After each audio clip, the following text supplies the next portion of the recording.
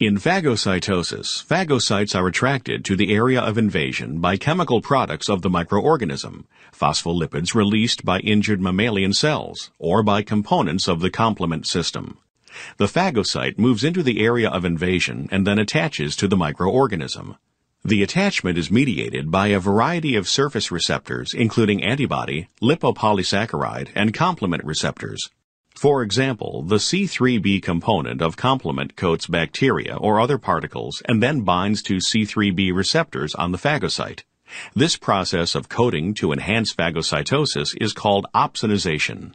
The microorganism is then engulfed by the phagocyte into a vacuole known as a phagosome.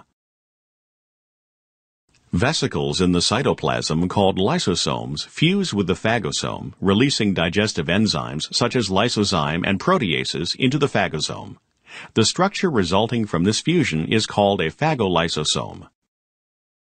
Inside the phagolysosome, microorganisms are killed and digested.